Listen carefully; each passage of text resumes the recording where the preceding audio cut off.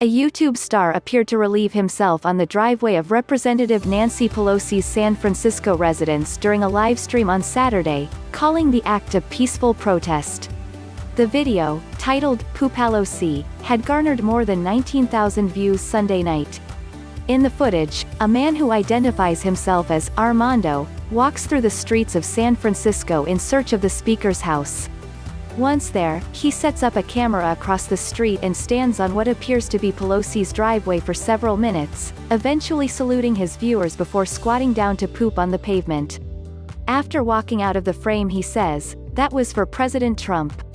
In a subsequent livestream, titled I'm Gonna Need a Lawyer, Armando claims that soon after the act he was detained by officers with the Bay Area Rapid Transit Police, at the behest of the Capitol Police Department, the agency charged with protecting members of Congress.